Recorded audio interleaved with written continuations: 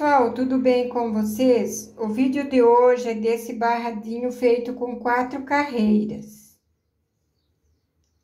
Ele é um barradinho fácil e rápido. Pode ser utilizado sobras de linha. Para ser feito com duas cores. Ou pode fazer só com uma cor também.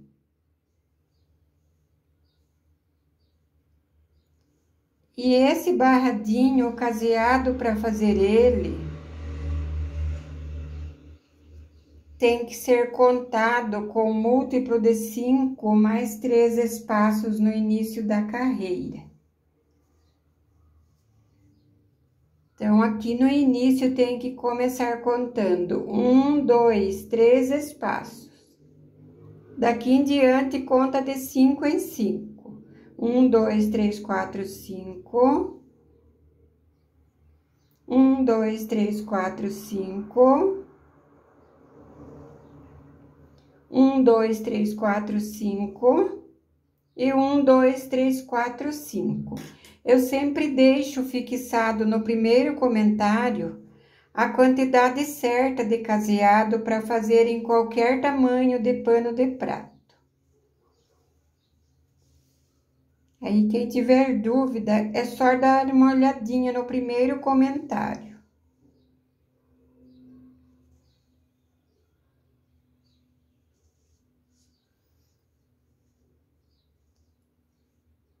Ficar assim o barradinho virado aqui para baixo.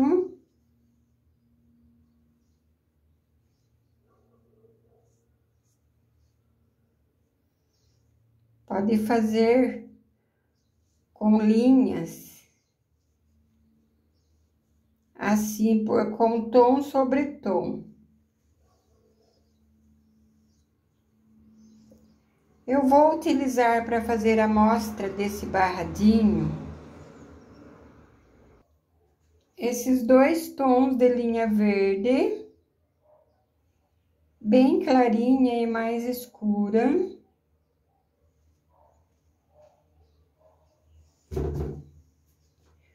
Uma agulha 1.75 e um paninho de amostra que eu fiz o caseado com espaço de três correntinhas. Então, eu fiz três espaços no início e mais dois grupinhos de cinco espaços. Vou fazer dois motivos. Terminei o caseado pelo lado da frente e voltei aqui no início Prendi a linha no ponto baixo aqui do cantinho do caseado. No mesmo espaço, eu vou subir quatro correntinhas. Uma, duas, três, quatro. Pulo o primeiro espaço, no ponto eu faço um ponto baixo. Uma, duas, três, quatro correntinhas. Pulo o segundo espaço no ponto, um ponto baixo. Uma, duas, três, quatro correntinhas. Pulo o terceiro espaço no ponto, um ponto baixo. Ficando assim aqui no início. Vou subir agora sete correntinhas, mas depende aqui da largura dos espaços. Eu vou subir sete, que as minhas correntinhas são bem pequenas. Mas quem tiver a correntinha maior, pode fazer até com seis correntinhas. Então, uma, duas, três, quatro, cinco, seis, sete. Pulo esses dois espaços e aqui no ponto eu faço um ponto baixo. Então, fiquei com essa alça aqui do lado das três argolinhas. Vou fazer as três argolinhas. Quatro correntinhas, pulo o espaço, um ponto baixo. Quatro correntinhas, pulo o espaço, um ponto baixo. Quatro correntinhas, pulo o espaço e um ponto baixo. Vou fazer as sete correntinhas. Então, pessoal, fiz as sete correntinhas, fiz a alça aqui pulando dois espaços E aqui no final, estou fazendo as três argolinhas. Então, eu já fiz duas e vou fazer a última aqui no último espaço. Faço um ponto baixo bem no cantinho. Ficando assim. Terminei como eu comecei.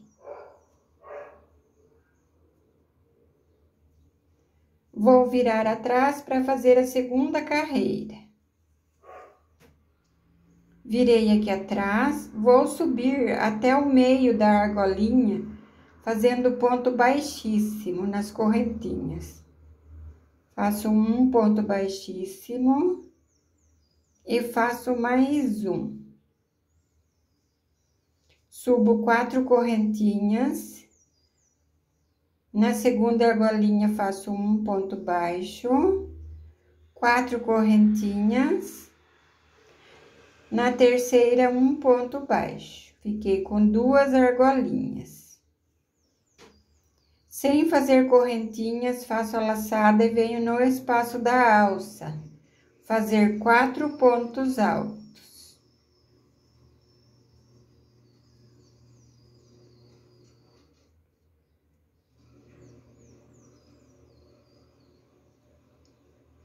Ficou assim. Faço duas correntinhas, volto no espaço. E faço mais quatro pontos altos.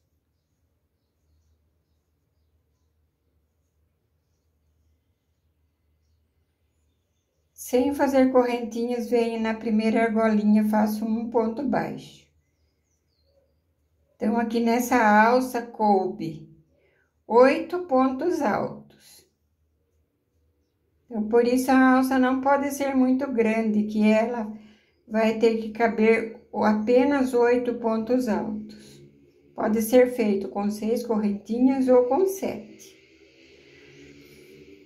Fiz o ponto baixo na primeira argolinha, já vou subir quatro correntinhas e na segunda eu faço um ponto baixo quatro correntinhas, na terceira, um ponto baixo. Sem fazer correntinhas, faça laçada e vou repetir nessa alça. Quatro pontos altos, duas correntinhas e mais quatro pontos altos. Então, pessoal, já repeti aqui quatro pontos altos, duas correntinhas e mais quatro pontos altos. Fiz um ponto baixo na primeira argolinha, fiz quatro correntinhas, um ponto baixo na segunda, quatro correntinhas e um ponto baixo na terceira e última. Fico com duas argolinhas aqui no final também. Vou virar na frente para fazer a terceira carreira. Subo até o meio da argolinha, fazendo ponto baixíssimo.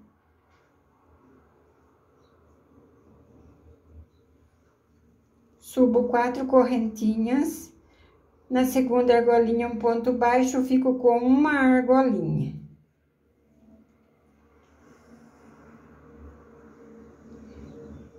Faço a laçada, aliás, faço duas correntinhas, vou pular dois pontos altos e aqui no terceiro eu faço um ponto alto. No quarto ponto alto, um ponto alto. No espaço do leque, eu faço dois pontos altos. Então, eu vou ficar com quatro pontos altos, como tinha aqui nessa carreira. Eu fiz aqui o ponto baixo na segunda argolinha, fiz duas correntinhas, pulei dois pontos e fiz os dois últimos e dois aqui dentro.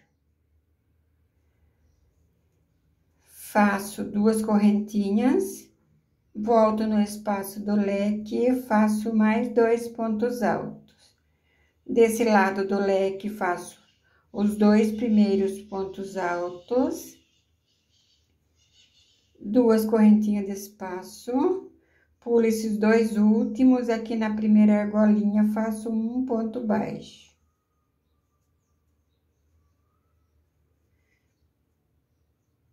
Faço quatro correntinhas e na segunda um ponto baixo, fico com uma argolinha. Desse ponto baixo, faço duas correntinhas, pulo dois pontos altos e vou fazer os dois últimos. Faço mais dois no espaço do leque. Duas correntinhas de espaço e mais dois pontos altos.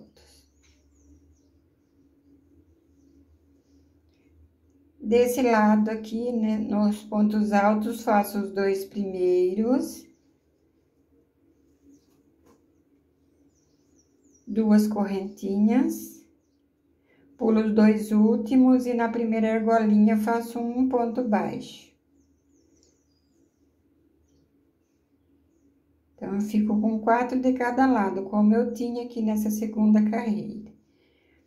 Agora, já vou fazer aqui quatro correntinhas, um ponto baixo na segunda e fico com uma argolinha. A segunda e última. Vou fazer uma correntinha e vou cortar a linha, que eu vou mudar a cor.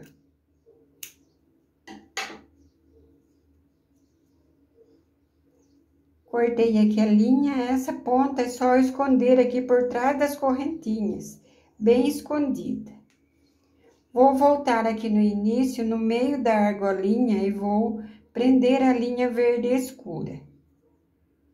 Então, pessoal, eu já amarrei a linha aqui no meio dessa argolinha. Venho no mesmo espaço, puxo aqui a laçada e vou fazer um ponto baixo.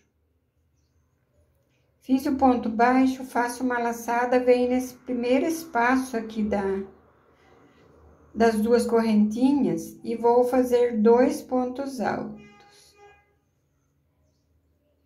E vou subir fazendo pontos altos aqui nos pontos altos do leque. Ponto alto sobre ponto alto. No espaço do leque, faço dois pontos altos. Vou fazer um picô com quatro correntinhas. Quem quiser fazer com três correntinhas, pode fazer. Subi quatro correntinhas. Aqui em cima do ponto, eu faço um ponto baixo e faço o picô. Faço mais dois pontos altos. No espaço do leque. Aqui nesses pontos altos desse lado, faço ponto alto sobre ponto alto.